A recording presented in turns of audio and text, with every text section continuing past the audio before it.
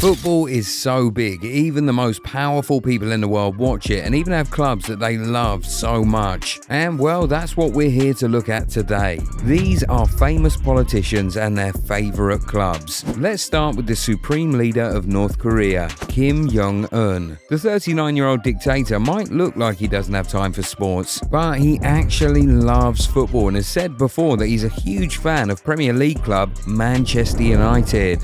He's such a fan that he reportedly asked the state TV to broadcast Man United games in 2014. Meanwhile, Vladimir Putin keeps his love in house. His favourite club is Zenit St. Petersburg, and it's absolutely no secret. You would have expected the president to probably support the club of the capital, which in Russia's case would be Spartak Moscow or CSKA Moscow. But then Putin was born in St. Petersburg, so his love for Zenit is actually not very surprising. As for Donald Trump, he doesn't really watch football, but according to him, he's friends with the owners of Man United. So naturally, he leans towards the Premier League giants. In an interview he did with the former US president, Piers Morgan tried to force Arsenal down Trump's throat. He had a jersey ready with Trump's name and the number 45, you know, 45th president of the United States. But that wasn't enough to make Trump switch allegiances to the London club. But the man who Trump succeeded seems to support a London club.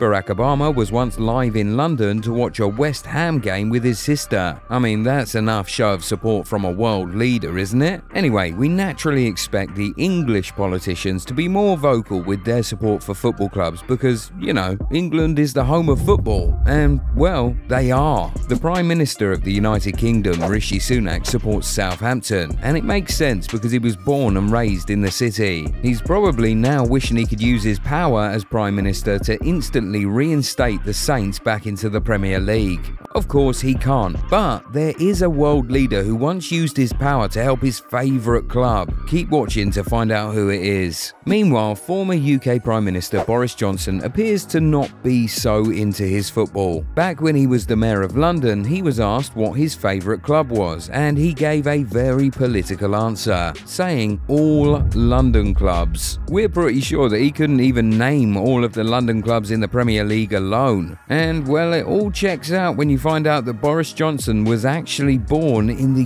US. He probably has a favourite baseball club or something. Now, we know the late Queen Elizabeth II was not exactly a politician, but come on, you know we just had to throw her in there. She was a West Ham fan. For a long time, she tried to stay neutral, but she eventually revealed where her allegiances laid. Meanwhile, her grandson, Prince William has never hidden his love for Aston Villa. He has loved the club out loud for years now and has often been in the stadium to watch games. He must be the happiest person in the world looking at what Unai Emery is currently doing at the Birmingham club. And you know what this tells us? Not everybody ends up supporting the club of the city they were born in. Because with all the clubs in the London where he was born, Prince William ended up supporting a Birmingham club. And it's the same theme with former UK Prime Minister Liz Truss. Despite having been born in Oxford and grown up in Leeds, she happens to support Norwich City. But it's not so strange because she moved to Norfolk at some point and that was when she switched allegiances. She also seems to have a lot of admiration for the club's owner, Delia Smith. But enough of England already. France's president, Emmanuel Macron, has proven to be a true football lover. We've seen him at a few football matches, particularly the 2018 and 2022 World Cup finals, where he showed a lot of emotion while obviously cheering France on. But the national team aside, does Macron have a favourite football club? He sure does. And no, it's not the club of the capital. The president actually supports their rivals, Marseille. Many people even said that he